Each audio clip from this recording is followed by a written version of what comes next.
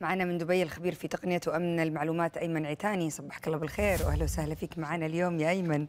متهمة فيسبوك ها والمنصات آه، في تهم تهم جنائية وقضايا مرفوعة عليها تسبب بأضرار نفسية. أهم الأضرار اللي ممكن تسببها فيسبوك للناس. هلا في دراسة مثل هيدي بتقول ما في أضرار وفي دراسات تانية بتقول في أضرار كبيرة. بس خلينا نفكر أنا وياكي معها من قبل الإنترنت أنا كيف كنت حس حالي؟ وضع منيح. يعني بالحي في 10 أشخاص 20 شخص بالحي. يعني بدي أقارن حوالي سيارتي أحسن من سياراتهم بيتي أحسن من بيتهم زوجتي أحلى من زوجاتهم. وبقارن حالي بلاقي أنا رقم ثلاثة أربعة بالحي من العشرين والحمد لله ماشي حالي. فتحي علي الإنترنت عندك آلاف وملايين الأشخاص. بدي أقارن حالي معهم كلهم ما رح أقدر يعني يكون أنا من أول ثلاثة رابع خامس. فنجمع يعني نحن عنا عقد معينة إذا الواحد مش واثق من نفسه. والإنترنت والإعلام الاجتماعي الناس آه، بتكذب بتحكي بالقصص الحلوة بس ما بتحكي بالقصص اللي مش منيحة. تجمعيهم سوا بيعمل قلق يعني. مم. أكيد. آه تجمعيهم سوا بيعملوا قلق. أيوه. آه أيمن يعني إذا إحنا بنتكلم عن المقارنة و يعني رفع سقف التطلعات للناس اللي صارت فيه مؤخرا. يعني إحنا ممكن مش بس فيسبوك كل المنصات أصبحت فيها. ليه حصرناها بس في, في فيسبوك؟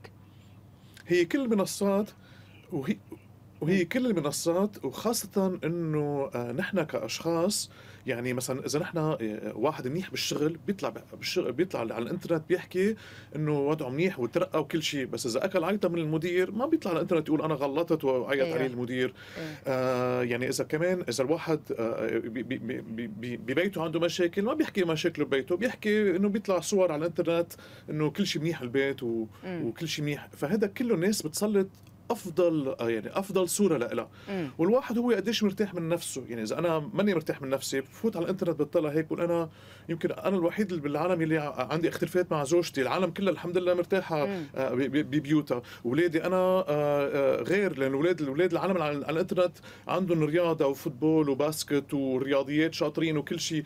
يعني العالم أحسن شغلة من شغلي فاذا الواحد منه واثق من نفسه. وبيطلع على الانترنت بشوف الناس كلها عم تحط أحلى ضوء لها هيدي هيدي بتعمل المشاكل فمنا مربوطة بفيسبوك. امم طيب. آه أبشرك يا أيمن يعني أصبحت الخلافات الزوجية واحدة من الأشياء الترند واللي يتعمدوا يسووها ال couples عشان يجيبوا مشاهدات. يعني طل كل ما تطلع فضايح أكثر كل ما تشتهر أكثر وتنجم أكثر. آه، بالحديث عن أفضل شيء آه، عنده الناس اللي بتظهر آه، هذا الجانب. يمكن أصبح المشاهير يعني قبل فترة كانت يمكن بيلا حديد حاطة صور في post كاتبة صور متنوعة يعني وهي في تعبانة وهي بتبكي وهي في أوضاع كثير مش جيدة. آه عشان تخبر الناس إنه ترى إحنا مثلكم إحنا آه عندنا لحظات كثير صعبة ما بنشاركها آه مع الناس لكن إحنا بنشاركهم أفضل شيء لدينا. هل صار في نوعا ما وعي يحاولوا على الأقل المشاهير بينشروا هذه الثقافة إنه لا تنغروا فعلا بالسوشيال ميديا؟ هذا يعني هي واحد من واجباتهم الأساسية المفروض. هلا هي من جهة يعني بدهم يحاولوا يعني يكون في تمييز شوي أكثر عن غير عن غير شخصيات آه، على الإنترنت؟ ومن جهة ثانية كمان هن بيتعبوا إذا الواحد كل يوم آه، بده بده يفرج انه هو منيح وكل شيء مرتاح وكل شيء منيح و وهذا بيتعب الشخص. ففي أيام اللي بيقدر شوي يفرجي شوي الصورة الحقيقية اللي وراء بيرتاح آه، نفسيا يلي فيه. ونحن كأشخاص بيهمنا كمان الناس اللي بنتابعها نشوف إنه آه هو اللي مثلنا نحن إنه آه، آه، شعرها مش ظابط اليوم. من أيام شعري بيكون مش ظابط الوجه مش مرتاح آه في شوية مشاكل يعني. ف يعني هيدي كمان بتقربنا شوي أكثر من من هيدي الأشخاص. الحديث عن الشعر؟ أنا شعري مش ظابط اليوم. طيب أيمن صار في وعي عند الناس تمام تمام يوم كذا يوم كذا طيب أيمن صار في وعي عند الناس فعلا يعني الناس يمكن بدأت تستوعب هذا الأمر مؤخرا لكن الخوف هو من المراهقين من الأطفال اللي قاعدين يكبروا على آه هذه الطريقة. قديش المفروض فعلا دورنا إحنا كأهل كمجتمعات قديش المفروض آه نكبرهم وهم واعيين؟ يعني ما هو سؤالك محله؟ لأنه أنا يعني أنا عم عم بحضر للحلقة كنت اليوم. كنت عم فكر إنه أنا لما كنت شاب مراهق بالمدرسة كان بعدني ماني واثق من نفسي ماني أكيد هذا فالحمد لله أهلي كانوا وقفوا حدي ووعوني لأطلع من هيدي من هيدا التفكير اللي كان عندي إياه. بس صرت فكر أنا أنا لو ما أهلي ما كانوا حدي ولو مفتوح الإنترنت آه مثل ما هلأ موجود عند كل مم. الناس وهيك أكيد كان أصعب لي بكثير أطلع منها أكيد كان دور أهلي أصعب بيكون هون فيها مم.